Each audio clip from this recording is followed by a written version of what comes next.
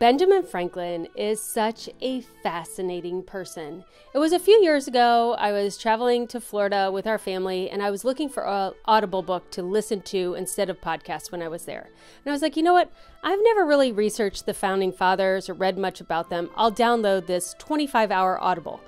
Oh my goodness. I was trying to, I was like, I'll go do laundry so I could listen to this book longer. Benjamin Franklin is so fascinating. But the reason why he is so fascinating is because, like, every 15 years, he's a totally different human. This man has covered so many different genres, it's crazy. Let me tell you a little bit about him.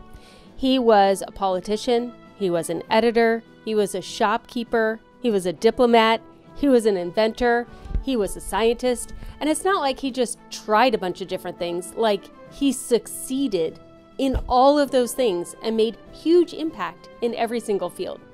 There are a couple of key points that I thought as I was even listening to this book. I started Organize 365 in 2012 as a blogger, and so that I know when you document things into blogs or into the written word, that the written word travels.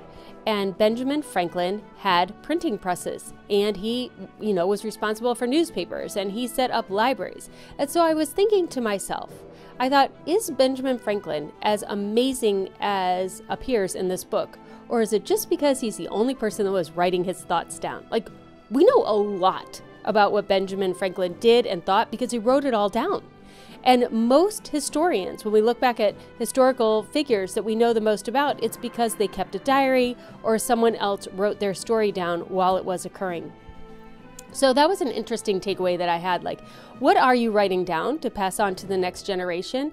And it's almost like if you didn't write it down, did it happen? that was one of the things that I thought that we know a lot about Benjamin Franklin because he was so good at writing things down and also selling himself in the media as well.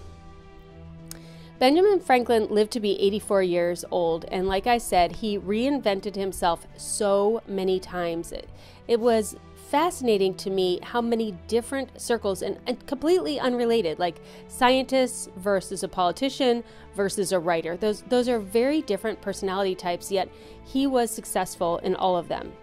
And one of the things I'm always trying to figure out what have the greats done in the past and what can I pull out of those and do in my own life?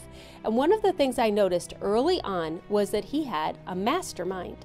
Now, a mastermind, that term has been made popular by Napoleon Hill in the early 1900s, and again in the online community space for sure, the one that I'm in, I don't know about the one that you're in, having these masterminds of people is a really popular thing. So when I read about it back in his day, that he created a mastermind, I thought, oh, there's really something to this mastermind idea.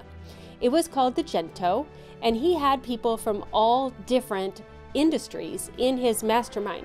So when he would throw out an idea, he would get perspectives from all these different industries, and he was hearing great ideas from all these different industry leaders. Some of them were really well known. There are also people in that mastermind that I would suspect rose to higher status from just being around those people.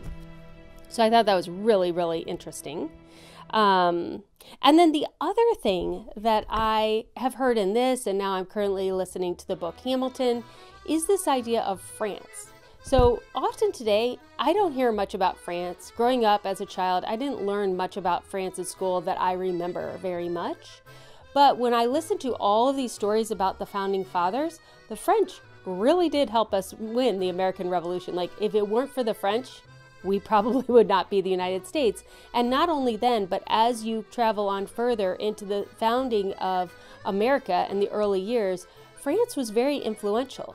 Um, Benjamin Franklin was a diplomat to France, and so he talked about that a lot. As I'm listening in this book, Hamilton, I'm finding out uh, more about France and the war and things like that. And so, one of the things that I want to dive into next year is learning the history of the relationship of America with France because it's not something that I've researched before.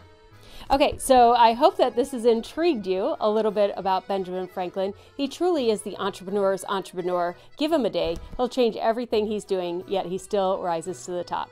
If you'd like to hear more book reviews like this, go ahead and subscribe to my channel, and I'll be back next Monday.